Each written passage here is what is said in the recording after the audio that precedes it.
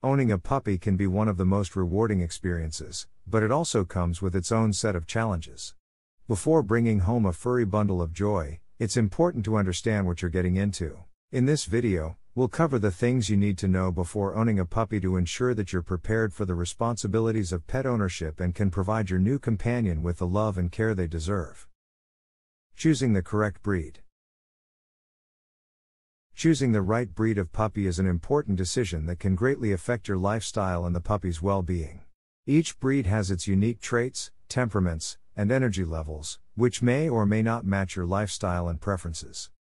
For instance, if you lead an active lifestyle, a high energy breed like a Border Collie or a Labrador Retriever may be an excellent fit for you. On the other hand, if you prefer a more laid back lifestyle, a lower energy breed like a Bulldog or a Basset Hound may be a better choice. It's also important to consider other factors such as the size of the breed, the amount of shedding, and the level of trainability.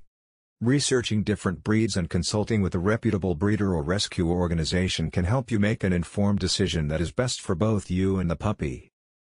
Remember, getting a puppy is a long-term commitment, and choosing the right breed is crucial for ensuring a happy and healthy relationship between you and your furry companion.